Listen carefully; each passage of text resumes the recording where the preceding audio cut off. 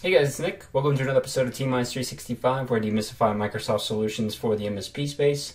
In today's video, I'm going to show you how to create a custom connector for Syncro in Power Automate with Microsoft.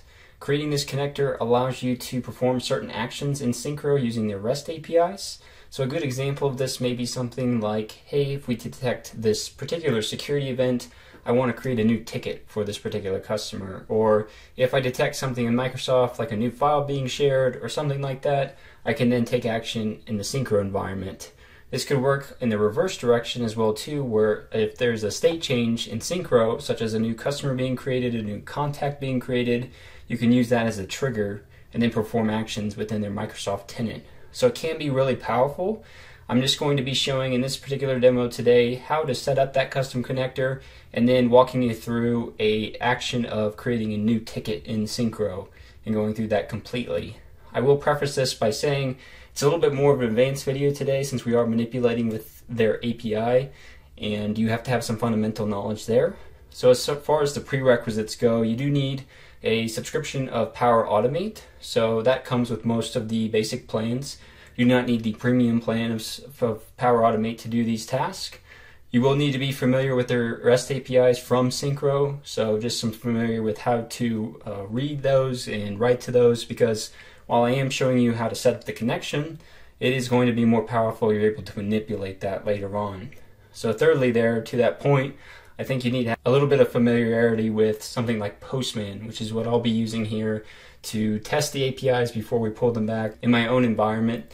And then as well, we are able to derive certain IDs and things like that that you need to put in as the parameters uh, within the actual calls that we're making. So it's a little bit more advanced in that regard, but if you stick with it, you go through and you actually create this connector that you can use to perform workflow automation between Syncro and Microsoft.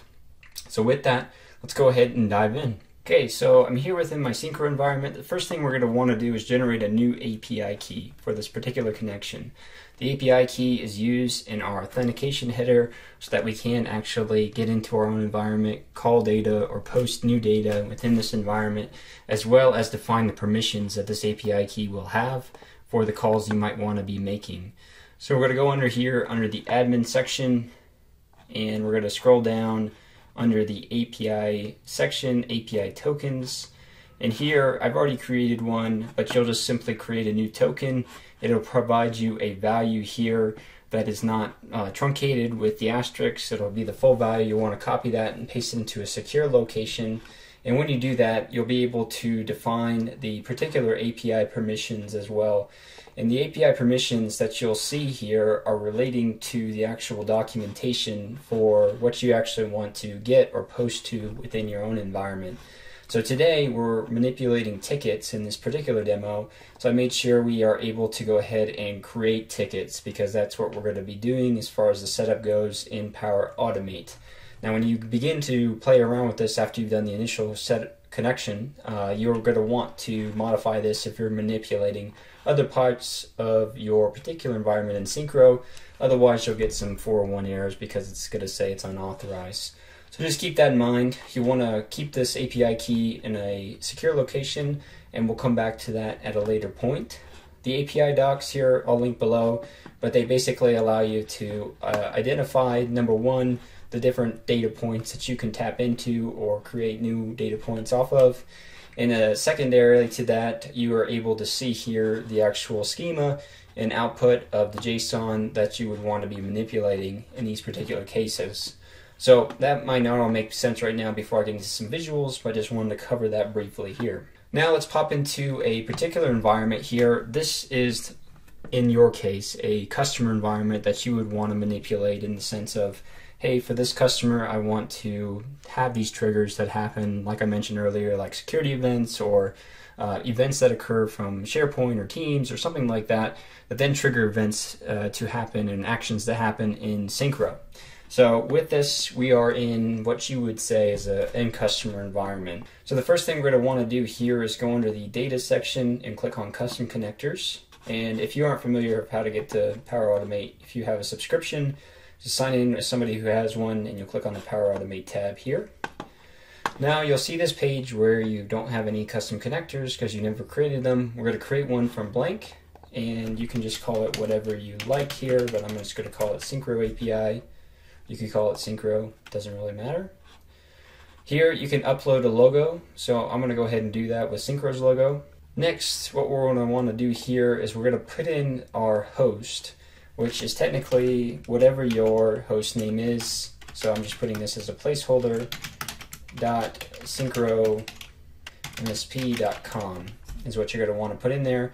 And for me, it's going to be something along the lines of t minus 365 syncromsp.com.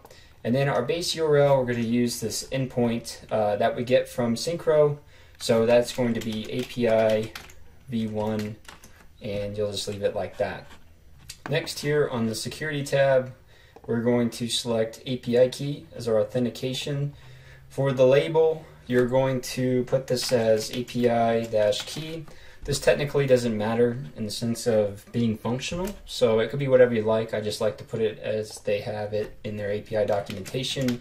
The second one, though, is specific. You'll want to want to make sure you put authorization here. I played around with this as probably the, the biggest troubleshooting step I had to take was figuring out how to actually get in this uh, actual authentication API token versus the service here creating its own custom bearer token. So this is something that you're going to want to put in there. Um, it, it, it, basically allows us to authenticate and make sure we have the correct permissions, like you saw for with our API key to tap into these resources. So click definition next, and this is where we're defining our actions or triggers. So again, today I'm only going to be looking at actions and creating this new action for service ticket creation. But again, if you wanted to create a trigger that's saying something if hey, I detected a state change in Syncro, you could do that as well too. Like like I mentioned earlier, as far as new companies being created or new contexts or anything like that, or new new tickets being generated. So in the action section here, I'm going to put in new ticket, and we're just going to say creates new ticket, and the operation ID. This has to be um, no spaces in that case. So we're just gonna call it new ticket. And I put an underscore in there just to make sure that works okay.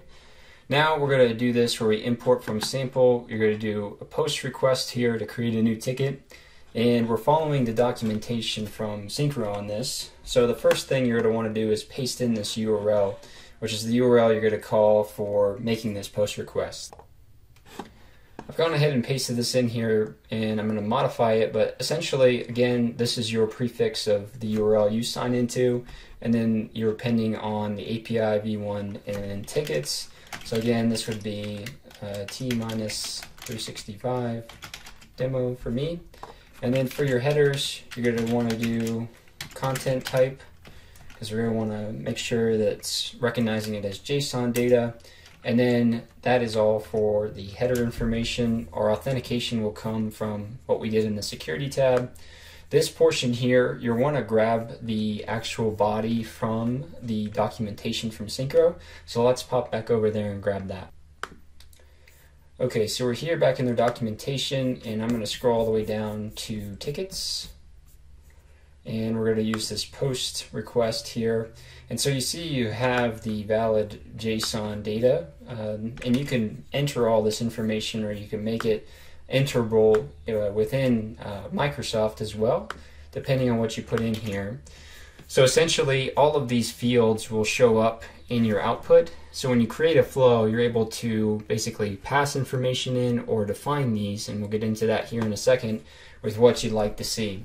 For simplicity here, I like to eliminate some in which I do not need.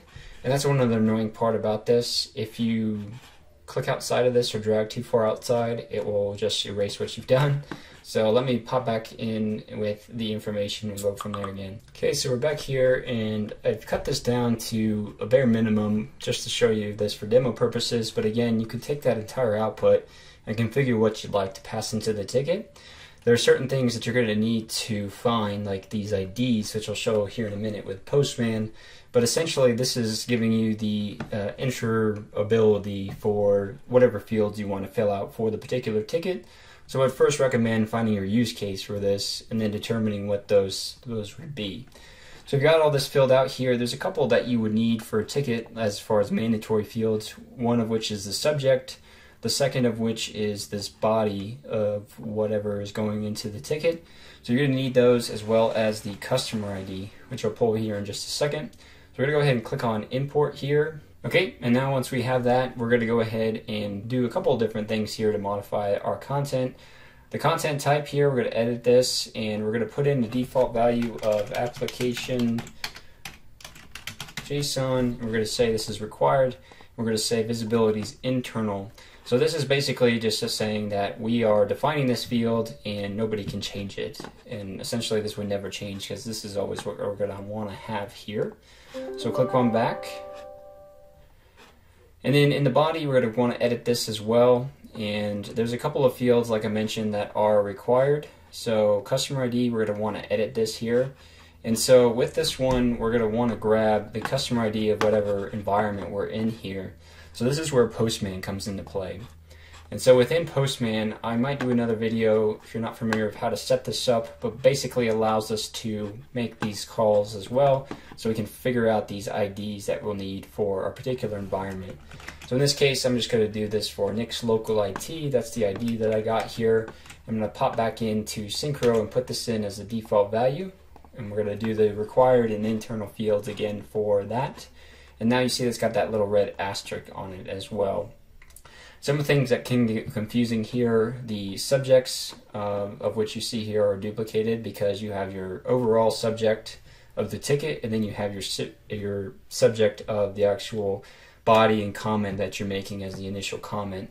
So one of these you might have to edit and decide what that looks like because it is going to be a required field and you might just want to set that as a default value as well. I'll show you a little bit more of that once we get moving forward here. But basically, this is also doing a validation of your JSON and your output as well. So all of that will be here. And when you're ready, you can go ahead and click on Create Connector. And it's going to do this validation here for you. So if you have any errors in your JSON or any errors whatsoever, it'll put that out here before it actually moves on. So we'll just wait for that briefly and come back when it's done. Okay, great. So we're back here. It's created the custom connector, and now we can go into the test phase. So we're in the test phase here. We're going to click on Create New Connection. And this is where it's going to ask you for your particular API key. And this is where, again, I had to learn this, and as far as the process goes, what you're going to want to do is type in bearer, B-E-A-R-E-R, space, and then grab your API key that you stored earlier in this video. So I'm going to grab that real quick and be right back. Okay, so we're back. I've got the API key copied. We're just going to paste that upon the end of this particular um, bearer space and click Create Connection.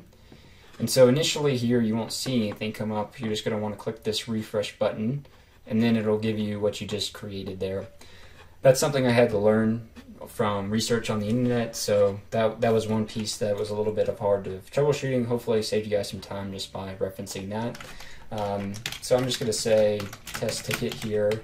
Problem type, I'm going to call it remote support. And as you can see, these are all the fields that you put into your JSON. And you could put in a raw body of JSON as well too if you really wanted to do that. Otherwise, you know, it's probably easier if you do it this way where you just have fields you fill out. So status, I'm going to say new, we're going to say test ticket. And for the body, we're going to say um, this is a Power Automate test. And then for tech, I'm just going to put Nick Ross here. And so once you're ready, you can click on test operation. And then it'll give you your response here. So it's a 200, which means it went through okay, and it's giving us the body of what it actually created in the particular ticket and everything like that. And I can see what requests we made as well uh, through this. And if it didn't respond correctly, it would give you like a 401 or a 400 error, something like that, with hopefully some helpful messaging. But if you follow my steps, that should alleviate a lot of what you saw, unless you were using a JSON output that required certain fields that you didn't fill out, like the subject line, for instance, is a common error you might get. So let's pop back into Syncro now to see this ticket.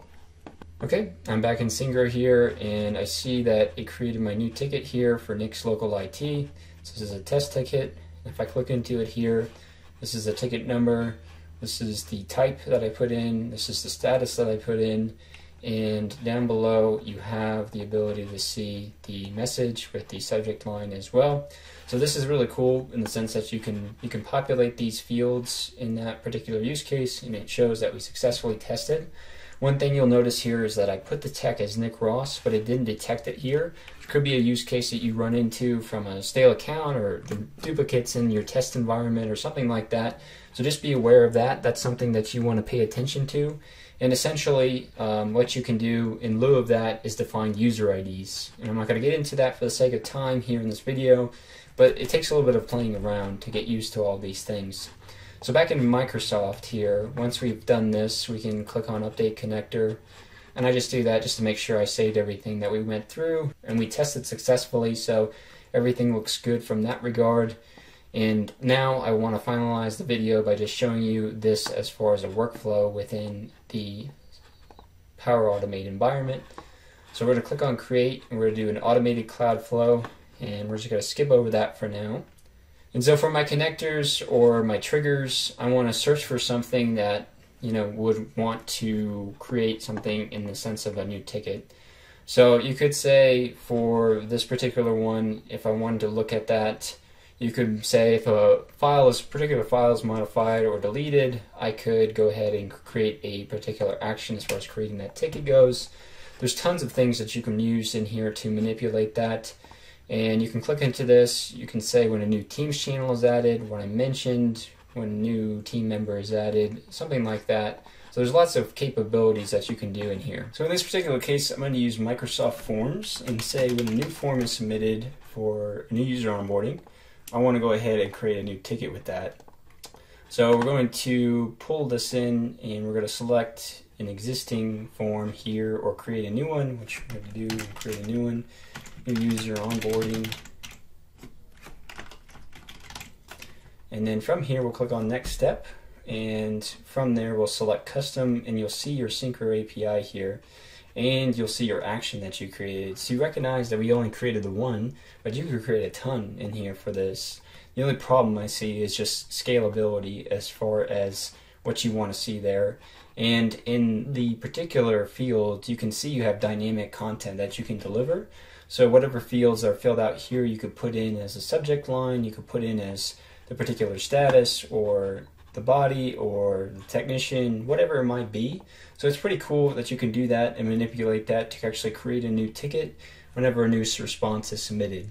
So I'm not going to go through that all the way. That basically brings us to the end of the demo where you can see that we've created a new connector, we've created an action off of that connector, and now we can use it as part of our Power Automate workflow. So that's everything I wanted to showcase for you guys in this particular video. Might do another video on connecting to Postman, if you guys are familiar with that in, in the sense of Syncro API, just so you have access to that. But otherwise, feel free to leave any questions or comments below. And like or subscribe if you have not already to the channel if you want to see more content around Microsoft 365 and the MSP space. Thanks guys, have a great day.